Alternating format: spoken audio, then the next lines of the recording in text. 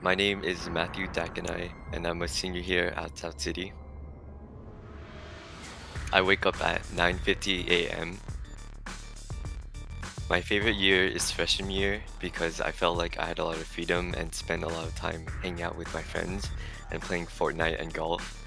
I also like junior year because I made a lot of new friends and I truly enjoyed playing badminton in the spring. My favorite class was English 2 Honors with Miss Wenzel. Even though it was very difficult and I spent a lot of nights doing work for that class, I feel like it helped me learn more about myself and obtain a new mindset and way of thinking. It made English very challenging and fun for me.